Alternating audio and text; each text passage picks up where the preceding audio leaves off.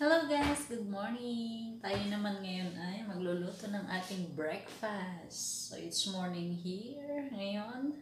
The time is 8, wow, 8.35. So ang aking lulutuin ngayon ay pansit canton. Yan ang breakfast ko. With talbos ng kamote. Yung aking kamote dyan sa paso. Ayan o, oh, dami niyang dahon. Ang gaganda. Pagka ganitong month na siya, gaganda na yung dahon niya. Na winter siya nun eh. Ngayon ayan, talbos ng kamote. Yoo! Ayan, the way I cook pancit canton is this. Kaiba. Dahil ako,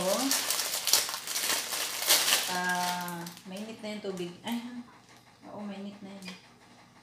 Kasi hot water nilagay ko.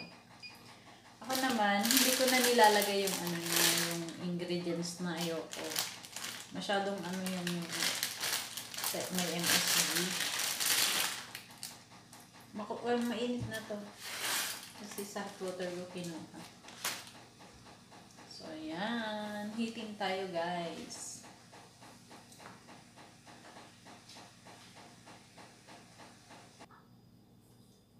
So, ayan, guys. Nag-start na rin siyang ano, mag-boil, boil, boil. Dahil ano, uh, mainit na tubig naman yung nilagay ko kanina.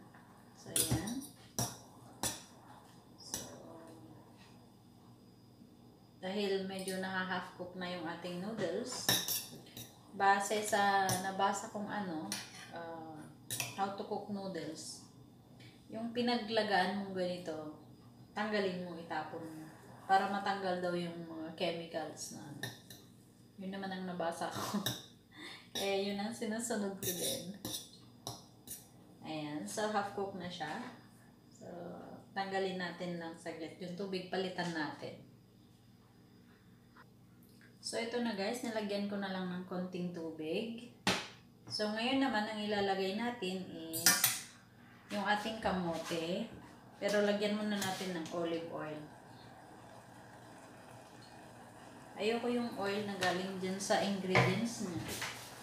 Tapos, soy sauce. Ayan. Then, lagyan na rin natin yung talbos ng kamote.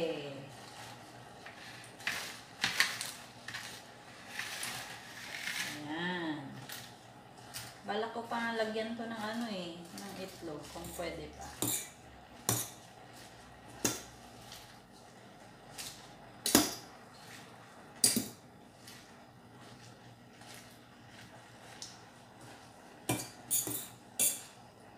siya guys. So, pansit canton ay may talbos ng kamote.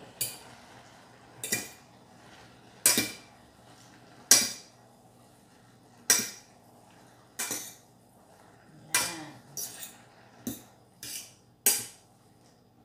Lalaga na yung kamote natin. So, sa iba, kung gusto nyong lagyan ng itlog, lagyan nyo din. Kung ayaw nyo naman, okay lang din. So, ito yung aking itlog. Lagay ko lang dyan sa gilid.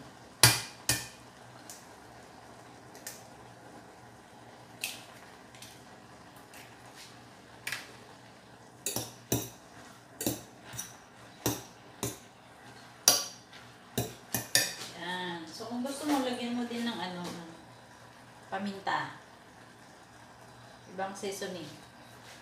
Kung may garlic powder ka, lagyan mo din ng garlic powder.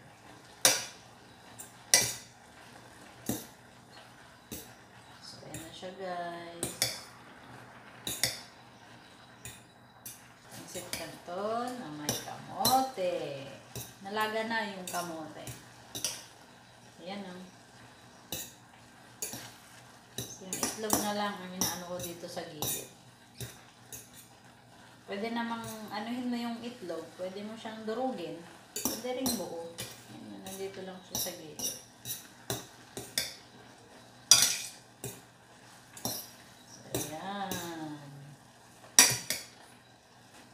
Mm -hmm. Tapos, may lemon, din tayo dyan.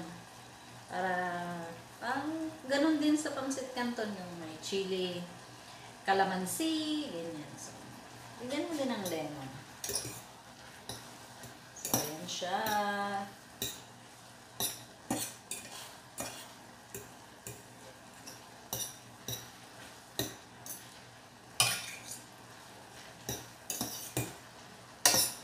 So, liluto na yung ano, canton natin. Yung egg na lang. Saglit lang. Lapit.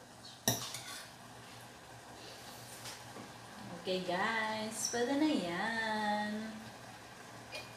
Enough ko na.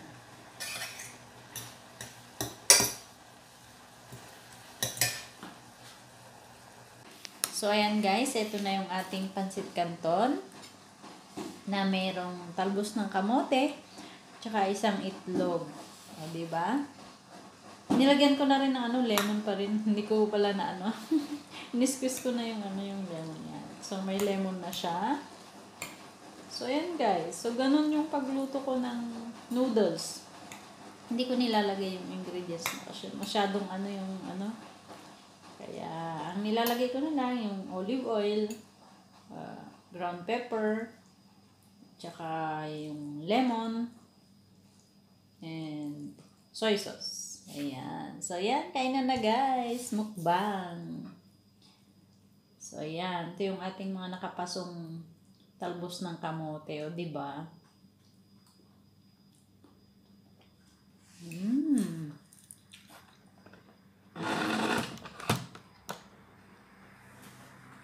Sarap. Salap-salap kaya. Talbos ng kamote. Parang kang nasa, ano, nasa Pinas. Diba? Talbos ng kamote. Hindi ko siya nilaga, pero nilagay ko siya sa pancit canton. Mainit. Kain na guys!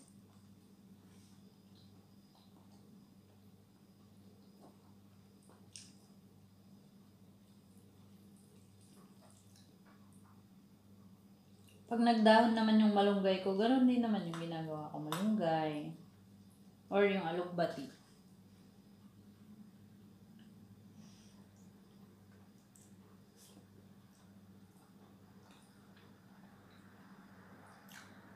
Mm. Mm. Sarap. Yan ang kagandahan guys pag may mga ano, tanim tayong mga leafy vegetables dyan sa mga paso. Kahapon nag-transfer ako ng ano, pechay. Nalagay ko sa paso. Kasi lahat na ng pechay yung nakabulaklak na.